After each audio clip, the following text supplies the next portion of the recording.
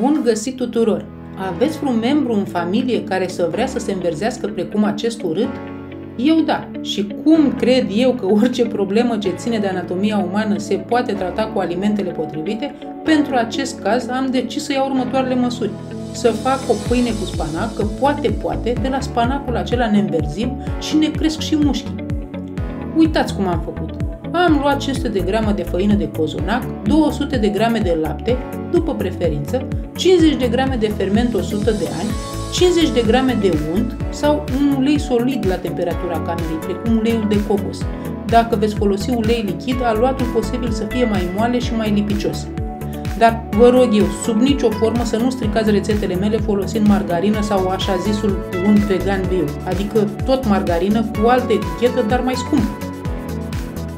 Am mai adăugat deci și minunatul spanac 100 de grame, 10 grame de sare să dăm gust la pâine și am mai zis să adaug și o lingură de semințe de chia și o lingură de semințe de mac. Am luat așadar cele 500 de grame de făină de cozonac, am adăugat peste ele o lingură de semințe de chia și o lingură de semințe de mac, precum și cele 10 grame de sare și le-am amestecat bine. Puteți folosi numai un tip de semințe sau să le excludeți total dacă nu vă plac. Pe urmă, în bolul unui mixer, am pus cei 200 ml de lapte pe care l-am încălzit puțin înainte pentru a-mi topi cele 50 de grame de unt. Am adăugat cele 100 de grame de spanac curățate și le-am făcut chercheliță, adică le-am mărunțit bine de tot. Am adăugat și cei 50 de ml de ferment, le-am adăugat peste făină și le-am frământat așa cum am priceput eu vreo 10 minute, până când aluatul a devenit destul de elastic și nu se mai lipea deloc de mâinile mele.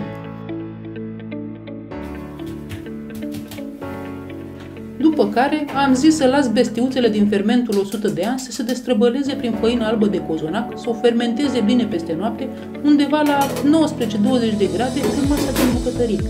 Când m-am trezit, am văzut semnele dezmățului. Aluatul s-a dublat în volum după vreo 7-8 ore. L-am întins așadar pe o suprafață curată și am încercat să-i dau o formă de mușchi. Am zis că dacă nu ne înverzim ca halc, măcar să facem mușchi ca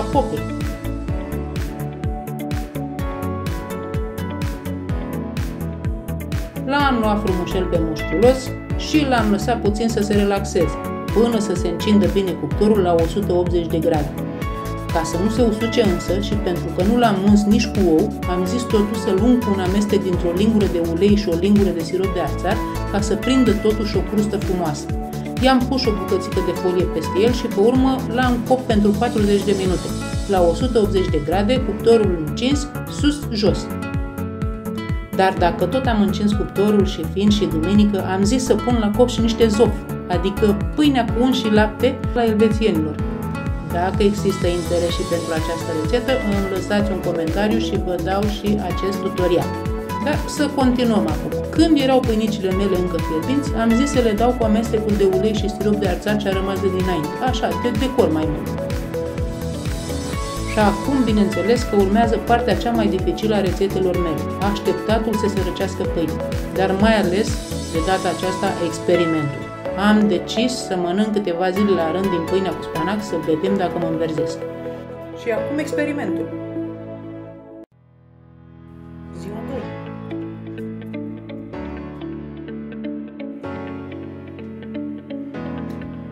Ziua 3.